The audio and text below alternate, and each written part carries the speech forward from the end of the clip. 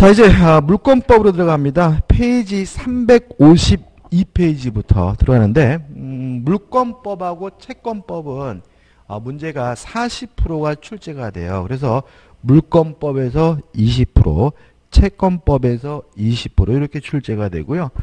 어, 물권법 20%니까 총 몇 문제죠? 8문제입니다. 8문제가 나오는데 양이 굉장히 많아요. 그래서 이거를 깨알같이 다 한다 그래서 문제를 마치고 그러시는 것도 아니더라고요. 그래서 우리가 물권법은 나올 만한 부분이 정해져 있는 부분이기 때문에 나올 만한 부분만 골라서 공부하시면 충분히 다 뭐 할 수 있냐면 커버할 수 있어요. 그래서 물권법은 어, 다 보지 않고 나올 만한 부분만 골라서 볼 겁니다. 자 먼저 360페이지 오시면 뭐가 나오냐면 물권적 충고권이 나와요. 아, 일단 물권적 충고권에 대해서 시험 문제가 나오면 좀 까다로울 수가 있는데 일단 개념은 물건으로부터 발생하는 청구권이 물권적 청구권이고요. 종류는 세 가지가 있습니다. 아, 반환을 청구할 수가 있고요. 방해, 제거를 청구할 수가 있고 방해, 예방을 청구할 수가 있어요. 아무튼 물권으로부터 발생하는 청구권이 물권의 청구권이고 채권으로부터 발생하는 청구권이 채권의 청구권이니까 결국은 그 사람의 청구권이 물권적 청구권이냐 채권적 청구권이냐 나누는 방법은 그 사람에게 물권이 있느냐 없느냐 문제거든요. 따라서 우리는 물권이 있는 사람이 청구하면 그 사람의 청구권은 물권적 청구권이고요. 물권이 없는 사람이 청구하면 그 사람의 청구권은 채권적 청구권이라는 걸 기억해 두시고 그 다음에 채권적 청구권은 물론 뭐에 걸려요? 소멸시에 걸리겠죠. 원칙이. 다만 물권적 청구권은 소멸시에 걸리지 않는다. 꼭 기억해 두셔야 됩니다. 왜요? 채권과 용익물권만 소멸시 걸리고 나머지 권리는 소멸시 걸리지 않으므로 물권적 중국권은 소멸시 걸리지 않는다. 이렇게 기억하시면 되겠죠. 그럼 교재가 좀 복잡한데 우리가 기억할 건 많지 않아요. 첫째, 물권적 청구권의 주체는 물권자이어야 한다. 따라서 물권이 없는 사람은 물권의 청구권 행사할 수가 없다. 두 번째, 상대방 침해자를 말하는데 요 상대방이 누구냐에 대해서 우리 판례는 점유자를 말한다. 따라서 점유자라면 그 사람에게 아무런 고의도 과실도 필요가 없고요.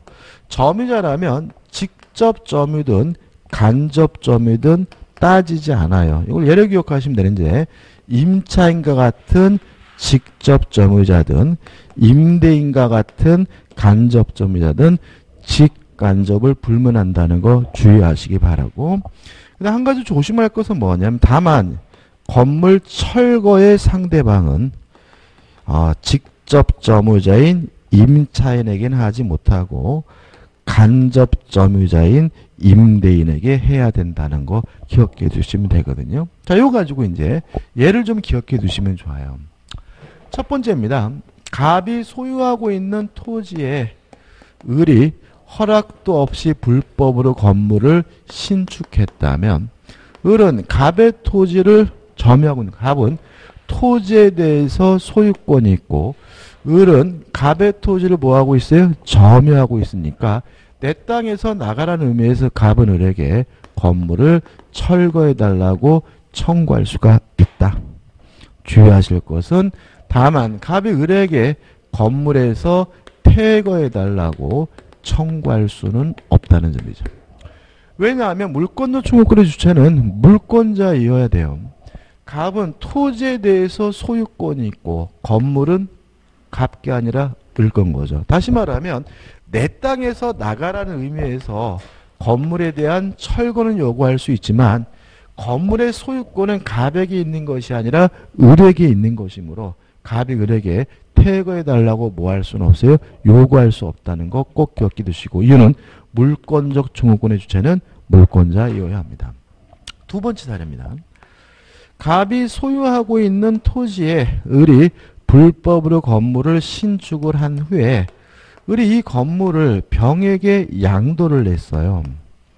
그러면 현재 갑의 토지를 점유하는 사람은 을이 아니라 병이기 때문에 을에게 철거해 달라고 요구하는 것이 아니라 병에게 철거해 달라고 요구해야 됩니다. 다시 말하면 물권조 총으로 상대방은 누굽니까? 점유자를 의미하기 때문이죠. 근데 여기서 좀 문제가 되는 것은 병은 을의 건물이 불법이란 사실에 대해서 선이고 무과실이었어요. 이랬을 때도 갑이 병에게 건물을 철거해 달라고 요구할 수 있느냐? 있다. 왜냐하면 물권적 총혹의 상대방은 점유자라면 그 사람에게 아무런 고의도 과실도 요구하지 않으니까요. 아 근데 만약에 갑이 소유하고 있는 마지막입니다. 소유하고 있는 토지의 을이 요 건물을 신축을 한 후에요. 병에게 임대를 해서 현재 병 임차인이 이 건물에 거주하고 있다면 갑은 철거해 달라고 누구한테 요구해야 되느냐? 병에게 요구하는 것이 아니라 을에게 요구해야 된다. 다시 말하면 물권조 청구권 상대방은 점유자라면 직간접을 불문하지만 건물의 철거 청구는 직접 점유자인 임차인에게 하지 못하고 오히려 임대인 간접 점유자에게 해야 된다. 왜냐하면 임차인은 건물을 철거해 줄 수가 없는 거죠. 건물을 철거해 줄 수 있는 사람은 그 건물의 소유자인 임대인이 할 수 있다는 점에서 이런 논리가 나오게 됨을 잊지 마시기 바랍니다. 그래서 여기 적어드린 요거 꼭 기억해 두시고 그 다음에 요 사례 세 가지만 확실하게 내 것으로 만들면 물권은 총무권에 관한 문제는 충분히 풀 수가 있습니다. 자 363페이지 오시면 기본 확인 문제가 나오죠. 자 읽어보죠. 풀어보죠. 물권적 청구권에 관한 설명을 옳지 않은 것 1번 소유권에 기한 물권적 청구권은 소멸시 걸리지 않는다. 맞죠? 물권적 청구권은 소멸시 걸리지 않습니다. 2번 소유권을 상실한 전 소유자는 제3자의 불법 점유에 대하여 소유권에 기한 물권 청구권을 행사할 수 없다. 맞죠? 이유는 뭐예요? 물권적 청구권의 주체는 뭐 해야 돼요? 물권자이어야 되죠. 전 소유자라는 말은 이 사람에게 더 이상 뭐가 없어요? 소유권이 없고 물권이 없다는 얘기니까 2번은 맞네요. 3번 임차인이 임차권에 기하여 토지를 점유하고 있는 경우 임대인이 토지 소유자인 임차인에게 물권을 청구권 행사할 수 없다. 당연한 얘기죠. 왜요? 적법한 권한이 있으니까요. 4번 부동산에 대한 점유 취득 시효 완성을 원인으로 하는 소유권 이전 등기 청구권은 물권 청구권이다. X예요. 자 왜냐하면 물건이 있는 사람이 청구해야 물권은 청구권이고 물건이 없는 사람이 청구하면 채권 청구권이거든요. 자 취득쇼가 완성됐다는 이유로 소유권 물권을 취득하려면 등기를 해야 돼요. 아직 등기하지 않고 있다면 그 사람에게는 소유권, 물권이 없으니까 이 사람이 등기 청구권은 물권적 청구권이 아니라 채권적 청구권이므로 4번이 X고 4번이 답이 되는 거죠. 5번 토지 매수인이 소유권 이전 등기를 격려받기 전에 매매 계약의 이행으로 그 토지 인도받은 경우 매도인은 매수인에게 토지 소유권에 기한 물권을 소유권 행사할 수 없다. 맞죠? 금반의 원칙이죠. 지가 팔고 지가 스스로 인도해 준 후에 이제 와서 내 거니까 반환을 청구하는 것은 반대되는 언행이기 때문에 허용되지 않습니다. 답은 4번이죠. 자 이제 어디로 가냐면 점유 아, 물권의 변동으로 가죠. 자, 물권 변동해 가지고 어디를 봐야 되냐면, 페이지, 음, 좀 넘어갑니다. 376페이지 부동산 물권 변동으로 합니다. 자, 일단, 음, 이것도 출제 가능성이 대단히 높아요. 자, 부동산 물권 변동에 대해서 이건 무슨 얘기냐면, 등기를 해야 되느냐, 할 필요 없느냐 문제거든요. 깔끔하게 정리하시면 되는데, 첫째 우리 민법 186조에 따른다면 법률행에 의해서 물권이 변동이 되려면 등기를 해야 한다라고 규정을 두고 있고요. 이에 반해서 187조 법률행위가 아닌 법률 규정에 의해서 물권이 변동될 때는 등기할 필요가 없다라고 규정을 두고 있거든요. 그럼 여기서 우리가 좀 생각해 볼 것은 법률행위는 계약과 단독행위 두 가지가 있잖아요. 따라서 법률행위에 의해서 물권이 변동된다는 말은 계약과 단독행위에 의해서 물권이 변동될 때는 뭘 해야 된다는 거죠? 등기를 해야 된다는 얘기고요. 법률 규정에 의한 물권 변동이라는 말은 법률행위가 아닌 다른 사유거든요. 따라서 계약도 아니고 단독행위도 아닌 다른 사유로 물권이 변동될 때는 뭐 할 필요 없죠? 등기할 필요가 없다는 얘기죠. 그래서 실제로 시험 문제에서 다음 중 등기해야 되는 경우는 이렇게 물어본다면 계약과 단독행위를 찾아내면 됩니다. 좀 몇 가지 좀 더 봐야 되는데 세 번째 판결입니다. 자 판결에서 이행 판결은 실질적으로 법률 행위에 의한 물권 변동이기 때문에 이행 판결 이후로 물권을 취득하려면 등기를 해야 된다. 이에 반해서 형성권에 의한 판결인 형성 판결은 등기할 필요가 없다. 다시 말하면 형성 판결에 의해서 물권을 취득하고자 하는 자는 등기하지 않아도 물권을 뭐하게 되죠? 취득하게 된다는 거 기억해 두시면 되고요.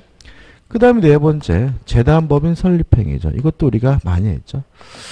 자 재단법인 설립행위에 의해서 물권을 취득하는 사람은 일단 민법 48조에 따라서 재단법인은 등기를 하지 않아도 일단 소유권을 취득하게 되지만 요 등기 없이 취득한 소유권을 가지고 제3자에게 대항하려면 뭐가 필요하냐면 등기가 필요하다. 아, 기억나시죠? 그죠? 그 다음 마지막으로 다섯 번째입니다. 자, 점유취득시효는 명백히 법률행위가 아닙니다. 그렇지만 우리 민법이 특별 규정을 둬가지고 점유취득시효가 완성됐다는 이유로 소유권을 취득하려면 등기를 해야 한다라고 규정을 두고 있기 때문에 점유취득시효는 법률행위가 아닌데도 불구하고 뭘 해야 됩니까? 등기를 해야 되죠. 그래서 이 부분은 요 다섯 가지로 정리하시면 되고 교재에 나와 있는 것은 어, 일일이 외우는 것이 아니라 요걸 가지고 어디에 해당하는지를 뭐 하시면 돼요? 따지면 돼요. 그래서 377페이지에 오시면 187조의 적용 범위인데 나오는데 연습입니다. 1번 상속은 계약도 단독행위도 아니므로 등기 없이 상속인은 소유권을 갖습니다. 2번 공용징수 수용이죠. 강제로 뺏어간 거죠. 따라 이것도 법률행위가 아니므로 등기 없이 소유권이 넘어갑니다.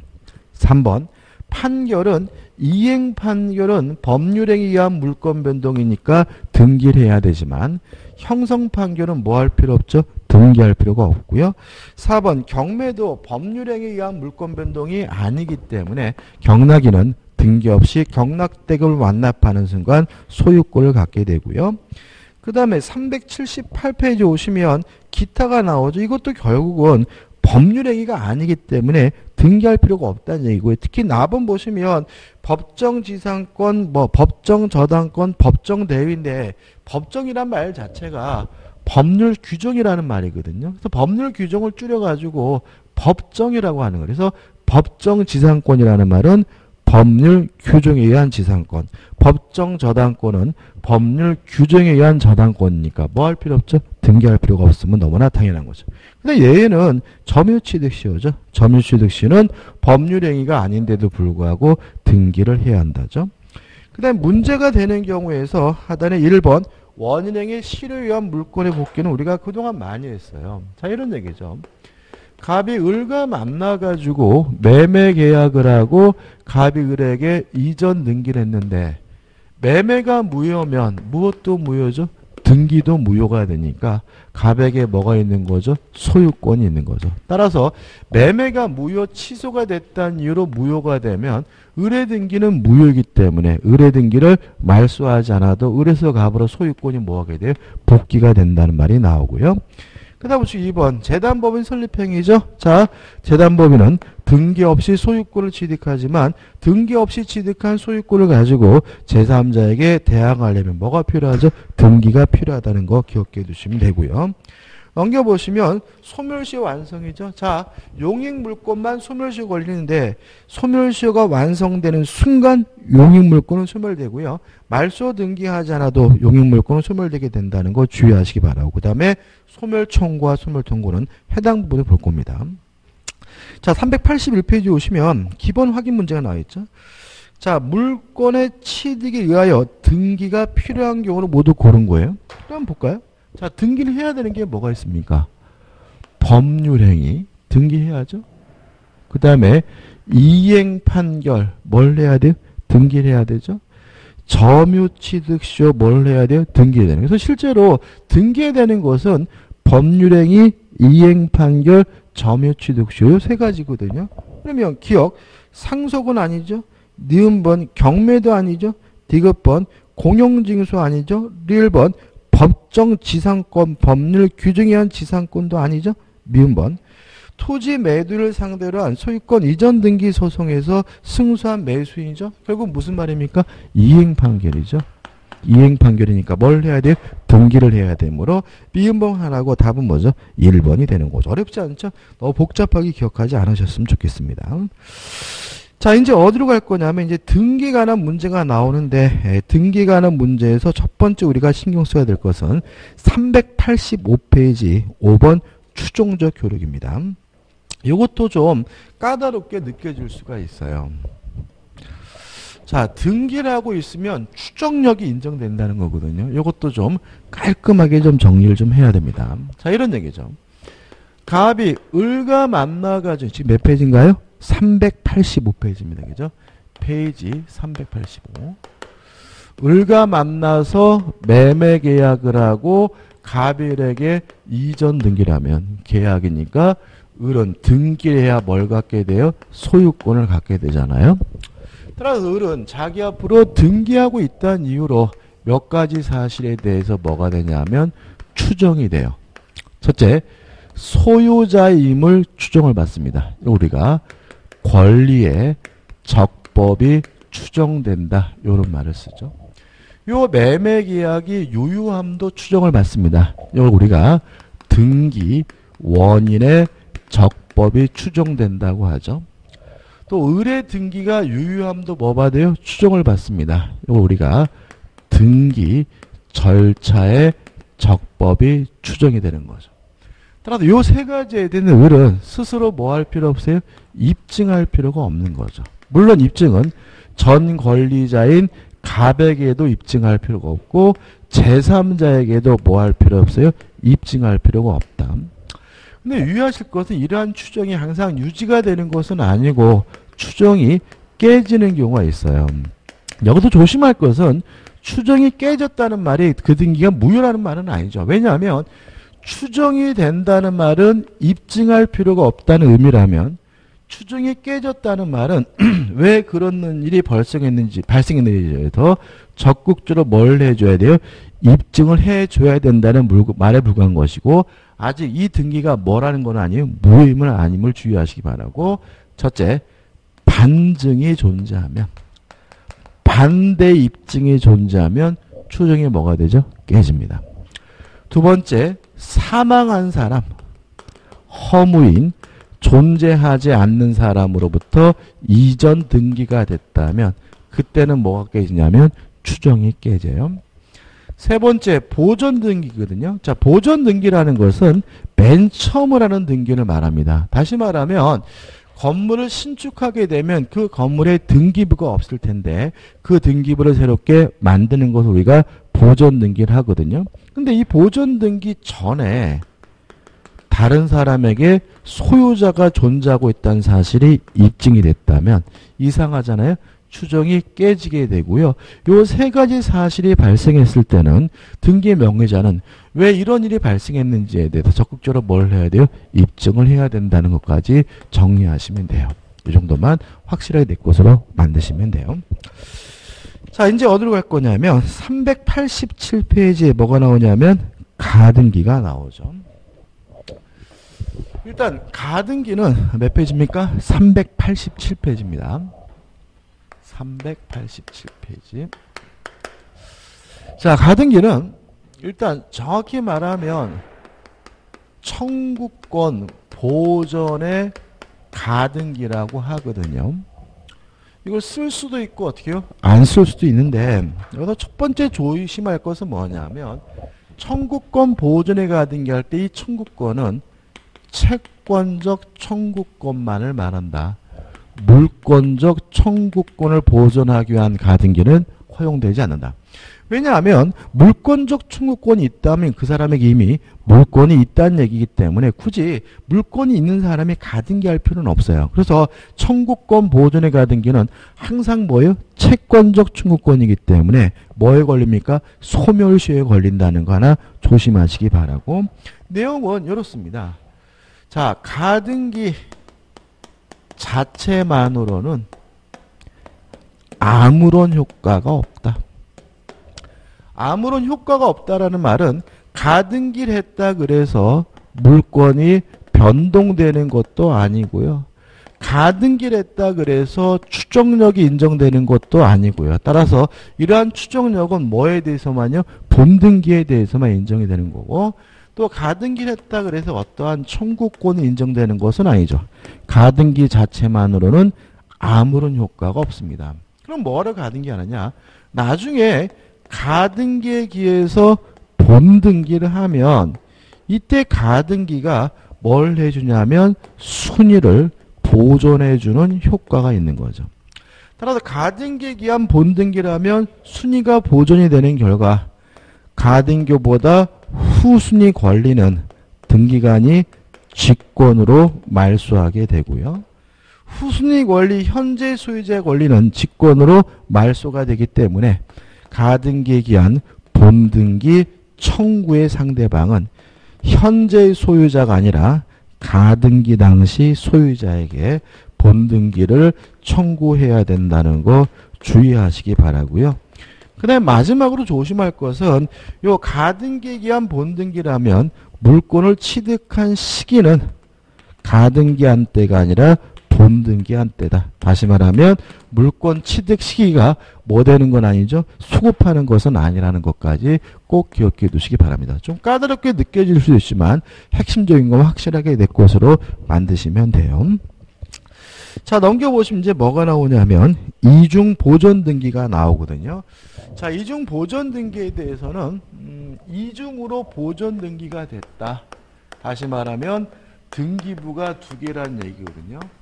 이것을 어떻게 해결할 것이냐에 대해서 우리 판례는 둘 중에 선 보존 등기 먼저 만들어진 등기부는 유효하고 둘 중에 후 보존 등기 늦게 만들어진 보존 등기는 무효라는 것이 우리 판례 입장이고요.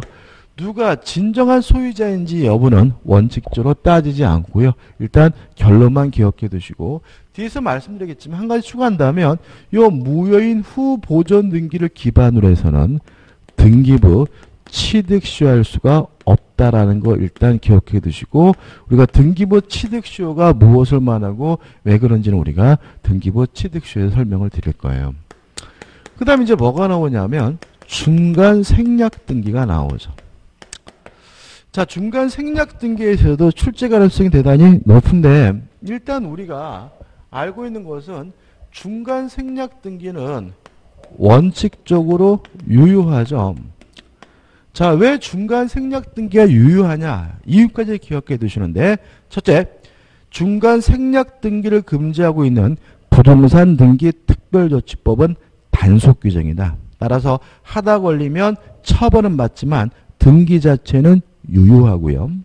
두 번째, 중간 생략 등기를 보통 하는 경우는 세금을 안 내려고 하는 것이 일반적이죠. 세금 회피는 인간 본성에 바르니까 반사회적이지 않다. 따라서 중간 생략 등기는 뭐 한 거죠? 유효한 거죠. 다만 예외적으로 이러한 중간 생략 등기가 토지 거래 허가 구역 내에서 이루어졌다면 그때는 뭐가 되죠? 무효가 된다는 거 전에도 했지만 꼭 기억해 두셔야 되고요. 세 번째는 아직 중간 생략 등기가 안 됐을 때요. 이랬을 때 중간 생략 등기를 해달라고 직접 청구할 수 있느냐 요 문제에 대해서 원래는 안 되지만 전원에 합의가 존재한다면 그때는 직접 청구하는 것도 가능할 수 있다는 것까지 간단하게 정리하시면 됩니다. 그 다음 우측에 5번 무효등기 유용 유용이라는 말은 재활용 다시 쓴다는 말이고요. 무효등기 유용 음, 재활용할 수는 있어요. 다만 사실에 관한 등기 부동산의 객관적 사실이라는 등기에 대해서는 유용할 수 없고 권리 관한 등기만 유용할 수가 있는데 권리 관한 등기를 유용, 재활용한다 그래서 그 효과가 소급하진 않고요. 제3자의 권리는 침해할 수 없다는 것만 주의하시면 되겠죠. 그 다음 넘겨보시면 또 나와 또 반복적이죠. 등기를 갖추지 않은 부동산 매수인의 법적 주의. 자, 기억나시나요? 자, 등기하지 않은 매수인은 등기하랬습니까? 아직 소유권이 없다. 따라서 그가 가지고 있는 등기 청구권은 채권적 청구권이기 때문에 소멸시효에 걸려야 하지만 점유를 계속하고 있거나 아니면 적극적 권리를 처분했다는 이유로 점유를 상실하게 된 경우에는 그 등기 청구권이 소멸시효 올리지 않는다는 거 기억해 두시면 되겠죠. 자, 391페이지에 아, 기본 확인 문제입니다. 신축 건물의 물권 변동에 관한 설명으로 오는 것은이죠. 1번 건물의 신축자는 보존 등기를 하지 않으면 건물의 소유권을 취득할 수 없다. X입니다. 자, 왜냐하면 건물을 신축하는 것은 계약도 아니고 단독행위도 아니고 법률행위가 아니죠. 따라서 등기하지 않아도 소유권을 가지므로 1번은 X죠. 2번 신축 건물의 보존 등기를 건물 완성 전에 하였더라도 그 와, 건물이 완성된 이상 그 등기를 무효라고 볼 수 없다. 맞겠죠. 왜요? 실질 권리 관계 부여, 아, 어, 부합하니까요. 답은 뭐죠? 2번이죠. 3번 신축 건물의 보존 등기 명의자는 적법한 소유자로 추정할 수 없다. 이게 좀 말이 좀 너무 많이 생략되어 있는데 요겁니다. 음, 보존 등기 전에 소유자가 존재하고 있다면 그 보존 등기 명의자는 추정이 뭐가 돼요? 깨진다는 판례를 가지고 만든 지문인 것 같은데 아무튼 답은 뭐죠? 2번입니다. 3번도 마음에 안 들지만 틀렸다고 할 수는 없죠. 4번 기존 건물 멸시로 건물이 신축된 경우에 기존 건물에 대한 등기는 신축 건물에 대한 등기로 소유를 가진다. 아, X입니다. 아, 3번 뭐죠? 아, 3번 아, X구나. 아, 죄송합니다. 지금 옳은 것은 뭐죠? 2번이요. 다시 볼게요. 신축 건물의 보존 등기 명의자는 적법한 소유자로 충돌할 수 없다. X네. 제가 잘못한 거죠. 문제가 정확한 얘기죠. 다시 말하면 보존 등기 전에 소유자가 존재한다는 사실 입증이 되면 추정이 뭐가 돼요? 깨지지만 보존 등기 자체는 원칙적으로 뭐가 돼요? 추정이 인정되기 때문에 3번은 뭐가 돼요? X가 되고 4번은 무효등기 유형이죠. 다만 이 4번처럼 사실에 관한 등기에 대해서 유효할 수는 없기 때문에 4번도 뭐죠? X죠. 5번 미등기 건물의 원시 취득자 그 승계 취득자 합의에 의해 직접 승계 취득자 명의란 보존 등기는 일종의 중간 생략 등기로서 정확히 말하면 맨 앞이 생략다 그래서 모두 생략 등기라고 하고요. 이 모두 생략 등기도 일단은 유효라는 것이 우리 판례 입장이므로 효력이 없다. X고요. 옳은 것은 답은 2번이 되는 거죠. 자, 이번 강의 여기까지고요. 다음 강의 때 동산 물권의 변동으로 들어가도록 하겠습니다.